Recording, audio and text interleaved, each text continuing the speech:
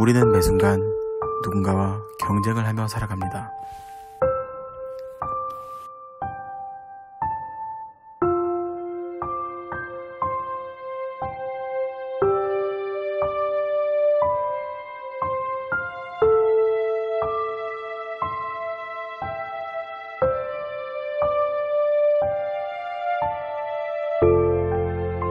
오늘도 수많은 경쟁을 버텨온 당신.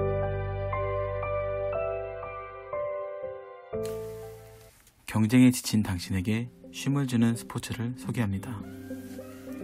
저희는 나무에 올라가서 수목 관리를 하고 그 나무에 올라가는 기술을 이용해서 tree climbing 레포츠라는 어, 컨텐츠를 또 운영하고 있고 그 기술을 또 지상으로 내려와 갖고 내려와서 놀이 컨텐츠를 하고 있는 그런 팀입니다.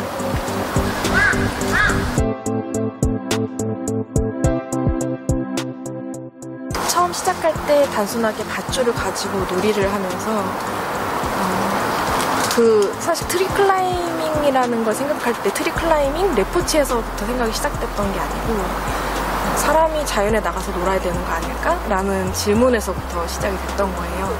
세상에 저도 살다 보니까 저도 너무 각박하고 저랑 같이 놀고 있는 어린 아이들이나 친구들도 세상에서 너무 경쟁 속에서 너무 강박한 걸 느끼고 이걸 어떻게 해결할 수 있을까 답이 어디 있을까라고 고민하던 와중에 자연으로 나가야겠다 숲에 가서 놀아야겠다 해서 그 답을 찾았어요.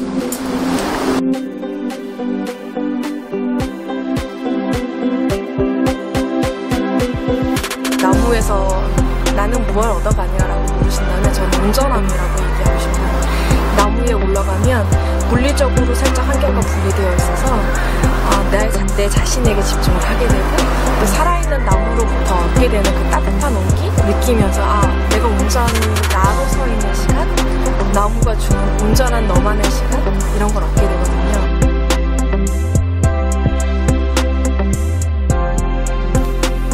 이기는 것이 아닌 모르는 것. 자연과 함께하는 스포츠 트리클라이밍입니다. Thank you.